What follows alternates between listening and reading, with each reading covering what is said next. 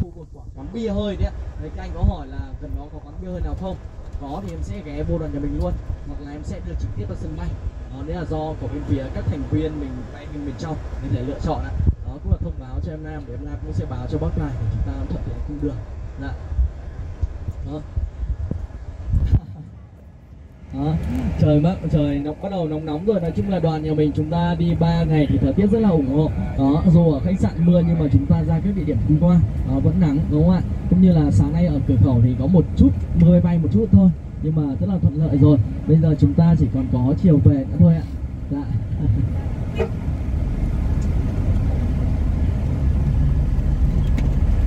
hai cái hai cái nhà hàng mà bữa đầu tiên mà là nhà mình chúng ta tham gia gala bích trưa ngày hôm nay mình sử dụng đấy ạ. Hiện nay cũng đang rất là hot trên top top. Với cái lẩu đó chính là lẩu đế vương và lẩu 9 tầng mây. Đó nhưng mà với một cái mức giá rất là cao đó chính là 390 hay 399 một người nhé đó, tức là lẩu họ xếp thành 9 tầng luôn 9 cái lồi lẩu chồng lên nhá đó vâng ạ. Đó, rất là hot hiện nay thấy là uh, khách du lịch nhất là ở Hà Nội ấy, mình xuống đều ghé cái nhà hàng này chúng ta cùng thưởng thức. Dạ. đó hy vọng rằng có một dịp thì đoàn nhà mình chúng ta thể uh, xuống dưới Hạ Long này để vui chơi. Dạ.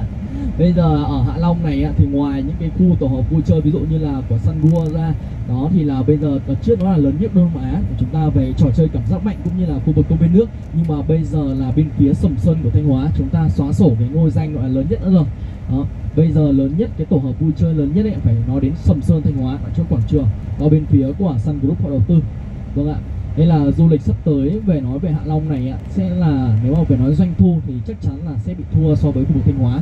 Tại vì là sắp tới ở Hải Tiến 2025 là chúng ta sẽ có cái khu của bên phía Flamingo ấy ạ.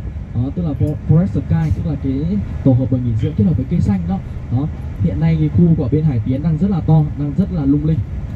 To hơn cả các bà to hơn cả cái khu vực của bên trên khu vực kia luôn. Dạ đó từ các biệt thự này bên phía Hải Tiến họ đang đầu tư rất là nhiều nên là sắp tới em nghĩ rằng là 2024 này, hè này cũng như là sang năm, là bắt đầu là du khách sẽ đổ dồn về hơn là so với khu vực dưới Hạ Long nơi đây. Dạ. Đó. còn tí ra ngoài này thì là chắc khoảng tầm 5 phút nữa thôi thì nhà mình chúng ta ghé qua luôn rồi. Các anh nhà mình thì chúng ta cũng có uống rượu ấy, tí nữa thì là mình ra xuống xả hết giúp em. Đó, tại vì tí nữa mình trên cao tốc sẽ bắn thẳng một mạch về sân bay luôn. Dạ.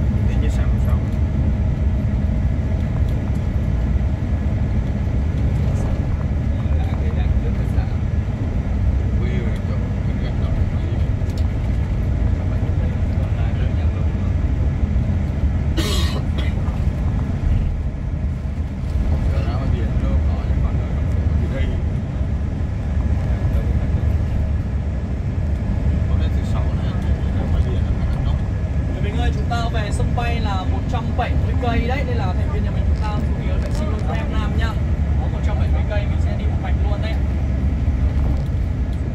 Vâng, nhà